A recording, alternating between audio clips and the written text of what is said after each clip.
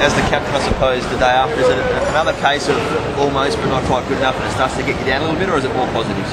Um, at, at, the time, it was disappointing the fact that we got so close. I think uh, not many people were expecting us to, to get up to uh, their score um, after their second lot of 25 overs and to get so close and, and not to be able to go to the line when we got it in a position to do so was, was a little bit disappointing. It's a strange ground, North Sydney, isn't it? You pretty much have to throw out the cricket rule rulebook there. Yeah, it's very small, and um, and that was one of the reasons we decided to bowl first because it can be a very hard uh, hard ground to defend on, and uh, we went out pretty confident we could bat well uh, in that second 25 overs, even though we're chasing eight and over, we still have a pretty good chance of getting the score. And I think a superb innings from, from Daniel Christian uh, really got us back into the game, and um, unfortunately, uh, in a position to win the game, and um, an experienced player like myself probably needs to take a fair bit of blame for, for not getting us over the line there. Just from your chat after the game, like you really took it personally. Like great innings, obviously, but just didn't quite get there.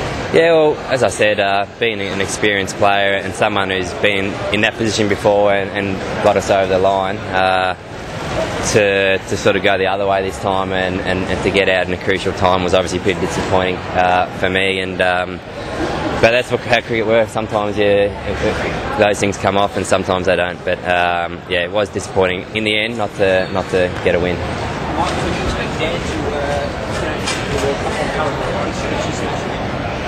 his last month has been absolutely amazing, and um, he's the, the most informed all rounder in the competition at the moment. Um, Indian conditions, I think, would be perfect for him. Uh, pretty flat wickets, he clears the boundary, uh, smaller grounds.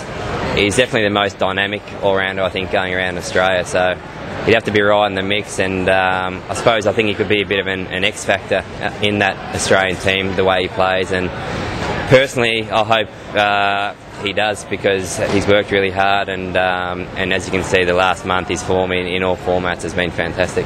As captain with the bloke like him in the team, the form is in, is it tempting to go to the well a bit too often, maybe moving up the order, overworking? Uh, oh no, he's playing his role perfectly, uh, especially with the new format. Um, we know if he comes in sort of the back end of the back end of the first uh, 20 overs or early in the in the next lot, um, that's a perfect position for him, and he can really open up a game and uh, we've got uh, on most of the games this year we've got off to sort of sluggish starts and then to claw our way back. So if we can just maybe get off that better start, then it'll click a little bit better. But we've been able to catch up in that middle period, especially over the last few one days. And um, but in terms of Dan Christian's role, he's, he's playing it beautifully, and um, I don't think it really has to change at the minute.